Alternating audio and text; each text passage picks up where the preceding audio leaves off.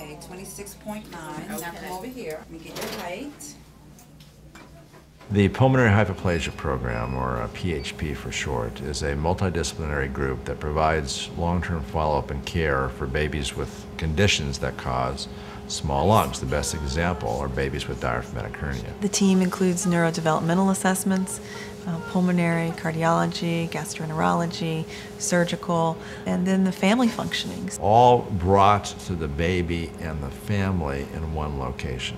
So that's very important because many of these babies, we've learned, can have long-term issues that require that sort of comprehensive, systematic care.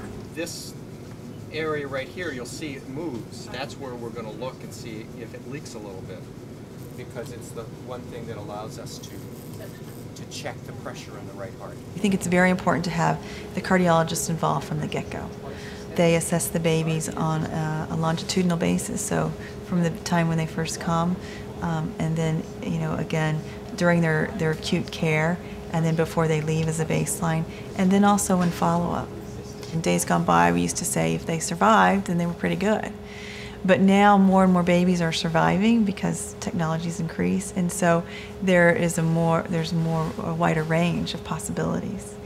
And so we think it's very, very important to track that. Hi, sweet Emily. Has it really been a year? The specialists are the same as the acute care setting, and so they know the infants really well. And what they can do is, is put everything together and summarize it and help the pediatrician or help the, the physicians that aren't CHOP based continue on with their care. Okay, big one up real hard. There is a chance for recurrence with a Gore-Tex patch in place, so that needs to be followed. Good. One needs to also follow chest wall development, because that could be restricted by a patch.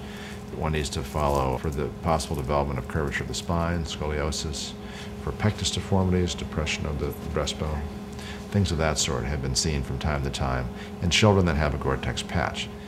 It's clear that babies that have barely enough lung to survive and, and barely enough adequate pulmonary circulation to survive can have remarkable compensatory lung growth thereafter. Once the hernia is reduced, uh, the space that's created in the chest allows the lungs to grow and develop. And our lungs ca- can grow in, in childhood up to eight or nine years of age. All those things go into what we can educate families about when they have this prenatal diagnosis. So we consider it a huge responsibility to figure it out.